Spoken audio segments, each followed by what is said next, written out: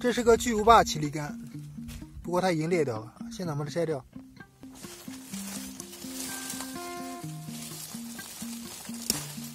Hello，大家好，欢迎来到荒野十一路。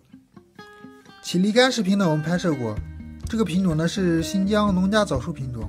那我今年又种了一些，它这个和那个以前那个不一样，这是个更古老的品种。这个种子是朋友给的，你能相信吗？这两个甜瓜是一个品种，是一种种子种出来的，它们之间的差距真的非常大。这个呢一点点，这个呢巨无霸。我们现在来一个一个试吃一下，先看一下这个大的，重量在两点八千克左右。它的果皮呢香味并不明显，但是呢能闻到也是有香味的。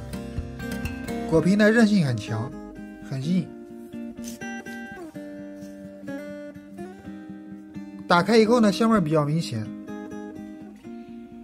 是很香甜的味道。果肉是绿白色的，它的纤维质清晰可见。你看它的纤维，一丝一丝的，清晰可见。我们来尝一下。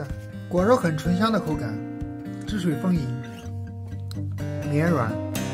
你看那汁水，用勺子挖着吃。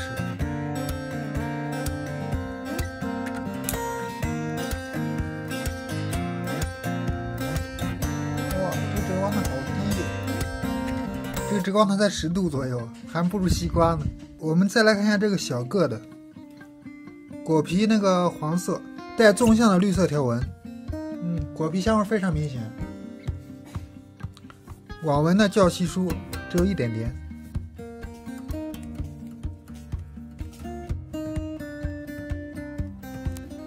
香甜味浓郁。我们来尝一下它的果肉。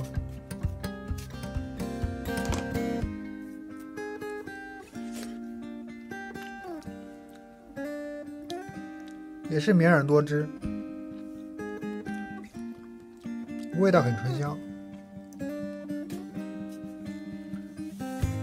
感觉这个甜度要高很多。这个折光糖在十四度，这还比较甜，比那个要甜得多。同样，这个果肉也是能挖着吃的，也是非常绵软。你看，靠近果皮的部位更甜。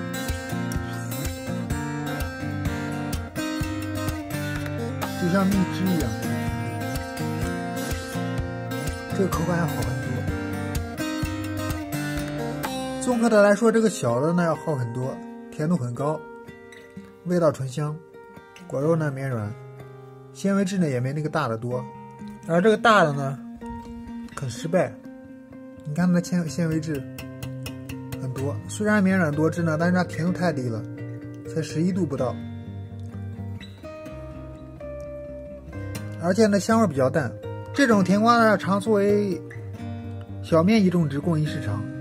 因为它上市比较早，而且味道醇香，甜度呢还可以，并不是特别甜，十四度、十三度左右，那已经是比较好的了。好了，今天的视频就到这里了，拜。